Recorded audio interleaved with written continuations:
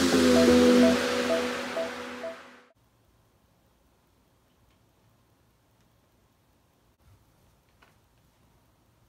hey, hey, hey! I just got an email saying that we didn't pay B&M for the coaster that they just built for us. And I know I gave you $30 million to pay for it. Did you pay him?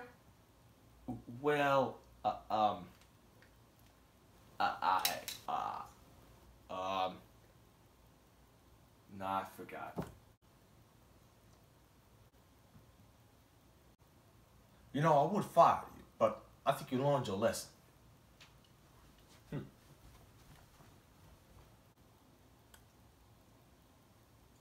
Huh. Okay, clearly we got a problem. I told you to pay this part $30 million, and now you don't pay him. Now I'm in debt. No, no, hold on, hold on, hold on. I was gonna pay him later. I, I just haven't paid him yet. Oh, heck no. All right. No!